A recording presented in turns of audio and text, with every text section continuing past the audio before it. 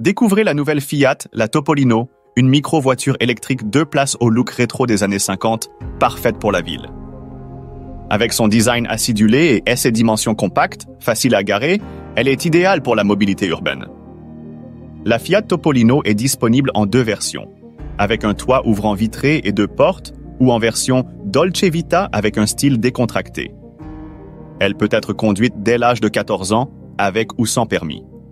Avec une recharge complète en 4 heures, une autonomie de 75 km et un look adorable rappelant la deux chevaux, la Topolino c'est une option séduisante pour la mobilité urbaine.